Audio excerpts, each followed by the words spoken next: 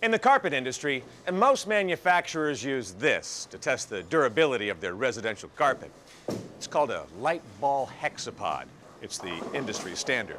And at 2.8 pounds, it doesn't weigh as much as this. And we don't use the light ball hexapod to test the durability of Stainmaster carpet. We use the Vettermann drum tumbler. It weighs 16 pounds, as much as the heaviest of these bowling balls. What's the difference between a bowling pin and a bowling ball? Allow me to demonstrate.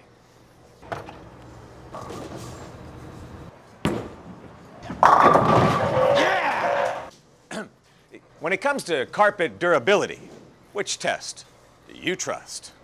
Game on!